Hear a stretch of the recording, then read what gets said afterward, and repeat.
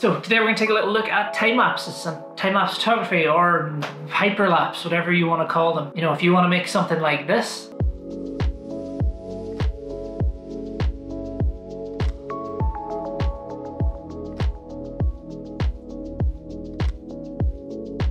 stick around. We'll, we'll show you how to do that.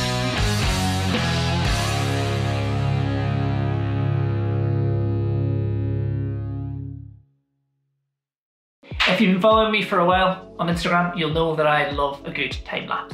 Back in August 2018, I actually started doing a series on my Instagram called Time Lapse Tuesday.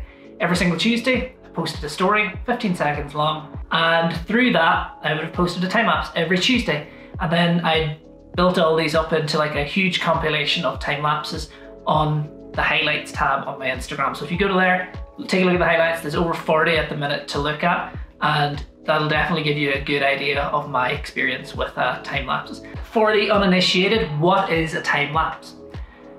I can guarantee that you've seen one before. They're used in multiple shows, they're all over the internet. You'll definitely be able to see, you'll definitely have seen one at some point. But basically what a time lapse is, is it's a series of images that's taken over a prolonged period of time that condenses that time into a short, shorter video of the, the time scale. Um, you can set them up to take place over months, years even, I've seen people do them for, or you can set them up for minutes to hours even. When it comes to time limit, uh, when it comes to a time lapse, you know, they, they can vary in multiple ways, but you'll definitely have come across them somewhere on the internet.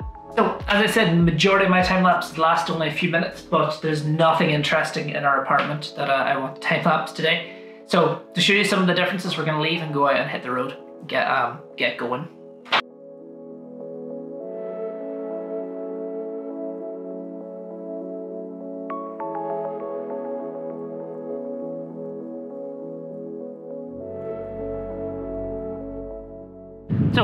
Over this period of time, I learned a few things about time-lapse photography and how to pull together an efficient time-lapse without, you know, too much hassle. Uh, right from the start, planning, setting up your shot, uh, to pulling it into your edits, to exporting that final video file, depending on the method that you decide to take. Anyway, before I go into deep rabbit hole about gear and all that shit, shooting time lapses, forget about gear, all you need really is a tripod and possibly an intervalometer. A lot of cameras have it built in, but as I'm sure a lot of people are familiar now, most smartphones can do this. You, if you go look in your camera app, there will probably be a time-lapse function, or a hyperlapse they may call it, that's the same thing basically. You'll get a, the same sort of image or it may, it may actually just take a video and speed the video up. A lot of cameras will have this feature built in as well. You'll be able to just set up your, your intervals, set up your shot and leave the camera to do it and it'll just take the video or take the shot and export it as a video instantly. So you'll just have this video file ready to go um, out of the camera. So it may be your, you know, with my 77D for example, it just outputs a 1080p image at 25 frames a second.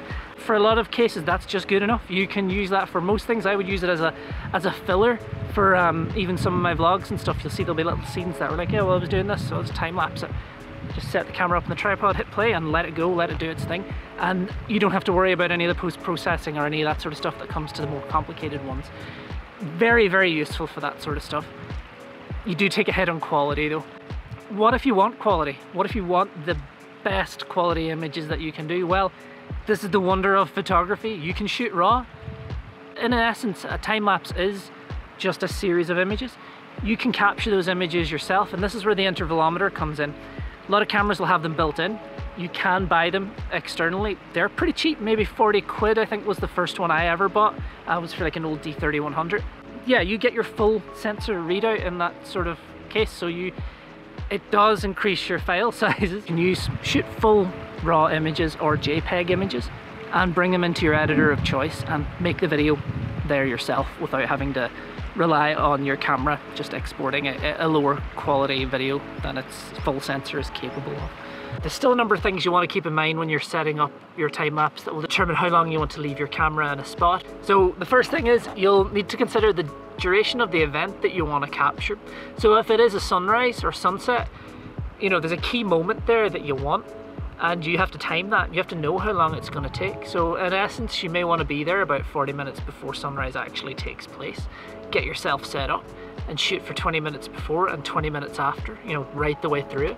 And then the other thing about that is as well, even the event, it's how fast you want your event to be portrayed. If you want slow shutter speed and to take long exposures and have a long exposure time lapse, that's going to take longer as well because you still need to capture the same amount of images if you want your time lapse to be 30 minutes long, but your each exposure is going to take longer. So unfortunately, this is where it gets into the mathy part of it. This is where it gets a bit deep and hectic.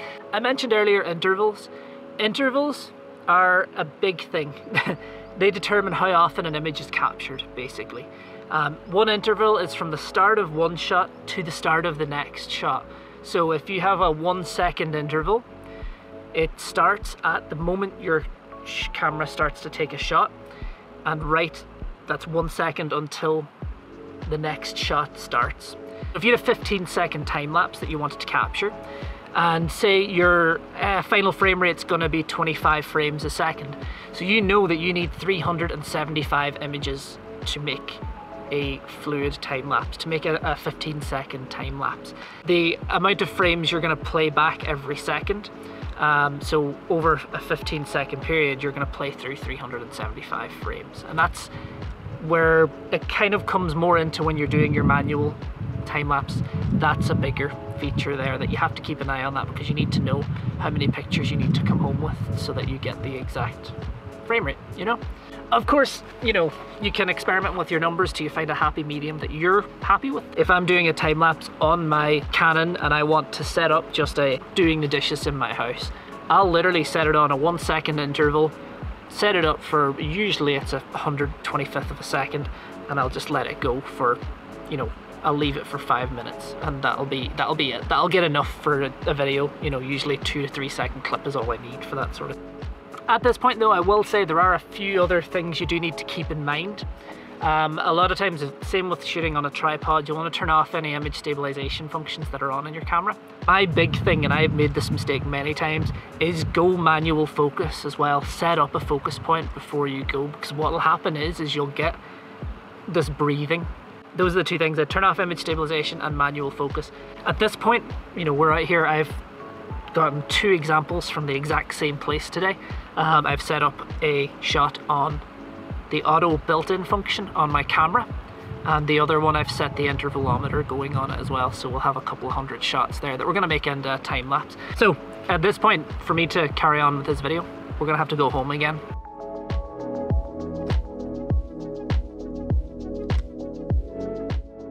Okay so we are back home if you've done the videos, like the general time lapse where the camera outputs a video file, you're pretty much done as much as far as it goes to making the actual time lapse.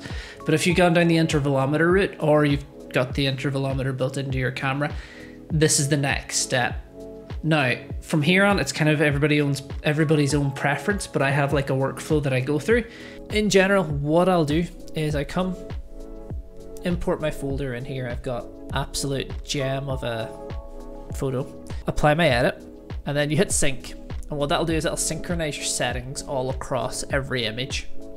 That do that, and I'll come back once that's completed for you guys. Um, we have our time lapse edited as such, so that's how you're going to do your kind of coloring and everything for it. We'll select everything once again. We go File, Export. So then at this point, I'd be like, okay, I need to pop these into the folder. So today we're popping these into this one. I'll usually put it to 100 because we're going to be re-exporting it again anyway in Premiere and you, you know, you don't want to cut down your quality. So bear in mind you can do crops and stuff in these edits. So if you want to do a crop in there, go for it. But I always use the maximum quality and then do the crop in Premiere. Okay, so that took way longer than I expected it to, but we're here. We have uh, finally exported all 470, 60, 465 images. Um, yeah, so at this point, I usually jump across to Premiere. Um, I have a sequence set up here, 4K 25 frames a second. So what we'll do is, is we're going to do two things. We're going to import the original time lapse, which I think is this one. So yeah, 1080p 25 frames a second. Now this is where the fun part comes. So you get your folder. So I've put these all into this folder called JPEGs. We're just going to import. We go open the folder. We're just going to import. You select the first file, and then we're going to click image sequence. So it'll put all that into sequence. So you'll get this. So you can see here it imported default to 25 frames a second. You go to properties again, and you'll see here it's 5200 by 3467. So you get this amazing file that's absolutely monstrously big. Right, this one in. So these are only taken like a few minutes apart. So you'll see here, this is a 1080p image on a 4K shot, and this is the same scene then. Now this will run a little chungier. Um, my computer's just decided no. So my main effect that I would use this for is I like the fact that I can go in, I can keyframe in positions and scales. So you have your original video, which will look alright, as I said, but in 4K, as I said, like what I would need to do on this one, I need to put it up by like 200%. So right and left. So there you go. You know, we've got, jump onto this one. You can see we've already got our final coloring on it. But what you get is, is you get this nice breathing image. You can have it move along. I'll, I'll play it over what I'm, I'm showing here now.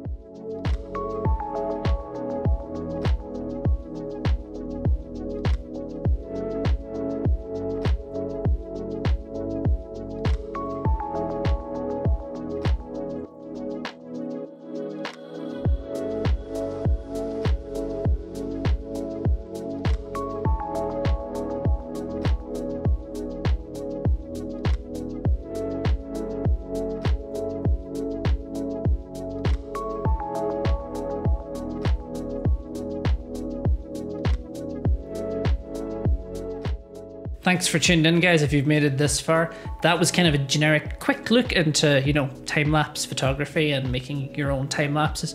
I hope it was helpful. If there's any other details that you want to know, ask me questions below. I can make a follow up video with more in-depth details, I suppose, on how I go through the process even more so um, when it comes to planning my actual locations and shoots and that. But we'll leave that for another video. Um, again, let me know if you have any techniques that you use or any little tips that you guys use for your time lapses if you already do them. You know, you may not be on this video if you already do, but hey, I've found that watching videos of stuff that I already know, you learn little things here and there. As I would always say, thanks for watching. Uh, my name's Eoghan. I've been here for this wonderful time-lapse video. Um, you can find out more of my stuff at my Instagram below. It's at Eoghan underscore Bell, uh, as well as my website. That's www.eoghanbell.com. Actually, check out all my time lapses and my highlight highlights reels. So go take a look at those. If you're not subscribed already, go subscribe. I've got more content coming. I have plans. I have actually got like loads of videos let set, loads of videos set up and ready to go. And again, give me a thumbs up on the video if you did think it was a good video or you found something useful in it. A thumbs down if you didn't. Comment and let me know rather than give me the thumbs down because if there's something missing, I'd rather know about it than just get in the generic. Anyway, thanks guys and have a good one. I'll leave you with this time lapse now.